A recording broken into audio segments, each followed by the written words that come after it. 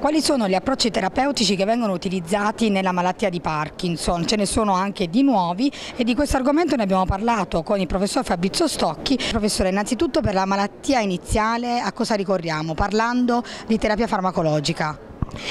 Ma innanzitutto eh, va detto che eh, per quanto riguarda la terapia iniziale ci sono diversi farmaci che sono attivi, la classe dei dopaminagonisti, la classe dei monoaminoossidasi B inibitore e la classe della levodopa.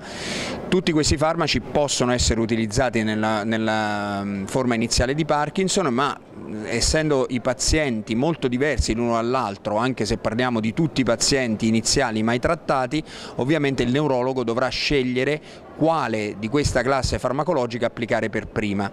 Certamente oggi l'idea è quella di andare verso una politerapia, quindi una combinazione di diversi farmaci per mantenere i dosaggi più bassi, quindi limitare il rischio degli effetti collaterali e ottenere il massimo del beneficio. Questo anche nei pazienti in fase avanzata, cosa utilizziamo in questa categoria?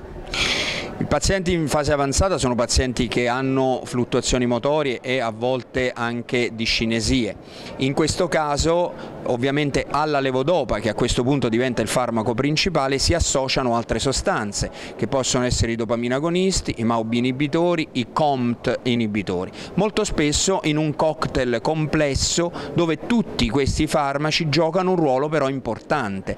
Infatti negli ultimi trial clinici abbiamo visto che nonostante il paziente paziente fosse già trattato con levodopa, dopaminagonista, COMT inibitore, l'aggiunta di un altro farmaco, ad esempio un MAOB inibitore, ha portato un ulteriore miglioramento in questi pazienti. Poi ovviamente abbiamo eh, le fasi molto avanzate, lì ci sono terapie cosiddette terapie avanzate che sono appunto l'infusione sottocutanea di apomorfina, l'infusione intraduodenale di levodopa e la eh, chirurgia, la DBS, che ricordo va utilizzata nei pazienti in fase avanzata di malattia. Per quanto riguarda l'ultimo arrivato, almeno per l'Italia, la safinamide, eh, in quale tipologia di paziente viene utilizzata? La safinamide è un monoaminoossidasi B inibitore, reversibile, quindi è il primo reversibile rispetto alla seleggelina e alla rasagelina, quindi più mm, maneggevole e con un profilo di effetti collaterali migliore è, viene utilizzato nei pazienti che già prendono levodopa, che hanno fluttuazioni motorie quindi il fenomeno del wearing off o fluttuazioni motorie più importanti, può essere associato a qualsiasi altro farmaco antiparkinsoniano ad eccetto degli altri due MAOB eh, inibitori. Ovviamente il paziente che viene trattato con questo tipo di farmaco è un paziente che può essere anche ancora un paziente nelle fasi eh, iniziali eh, della, di malattia ma che già magari comincia ad avere delle fluttuazioni durante la giornata a tipo appunto una perdita d'efficacia in alcuni momenti della giornata o la comparsa di alcuni sintomi anche non motori come la depressione, la stanchezza, la fatica, l'ansia, l'attacco di panico.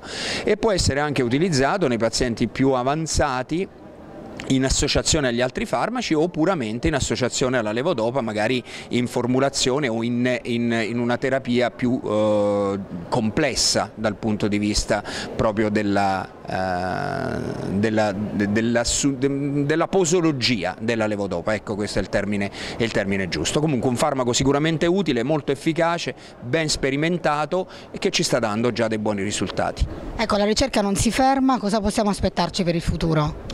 Ma il futuro sicuramente è estremamente interessante, abbiamo in studio delle nuove formulazioni di levodopa, quindi che durano molto più a lungo rispetto alle attuali formulazioni, abbiamo delle cosiddette rescue therapy, cioè delle terapie che possono essere utilizzate al momento in cui il paziente eh, dovesse avere un off durante la giornata o magari anche durante la notte, si tratta di una levodopa inalatoria oppure di un film eh, piccolino sublinguale eh, di apomorfina.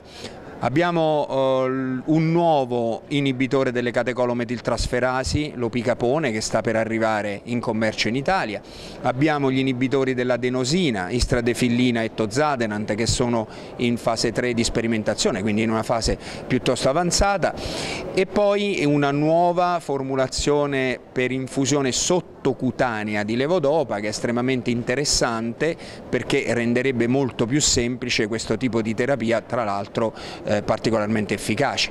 E poi speriamo ovviamente, riponiamo molta fiducia nelle, negli anticorpi per l'alfa-sinucleina che è, è il primo studio eh, partirà proprio in Italia in primavera.